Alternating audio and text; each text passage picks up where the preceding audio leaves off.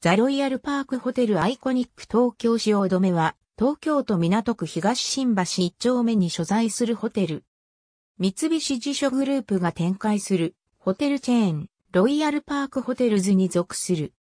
2003年7月1日、東京都港区東新橋の汐留タワー内、地下1階、24階から38階部分に開業。客室は標準タイプで41平方メートルの広さがある。客室はスイートルームを含む490室。4つのレストラン、ラウンジバー、トレーニングジム、日本で初めてオープンしたスパブランド、マンダラスパがある。2013年10月1日にロイヤルパーク、汐留タワーより、ロイヤルパークホテルザ汐留へ改称。宿泊特化型ブランドのザシリーズへのリブランドに伴い、運営会社も株式会社ロイヤルパーク、汐留タワーから他のザシリーズと同じく株式会社ロイヤルパークマネジメントに移管された。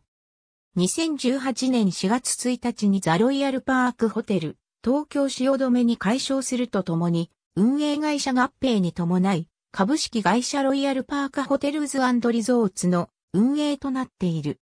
2020年4月1日にザ・ロイヤルパークホテル、アイコニック東京汐留へ改称。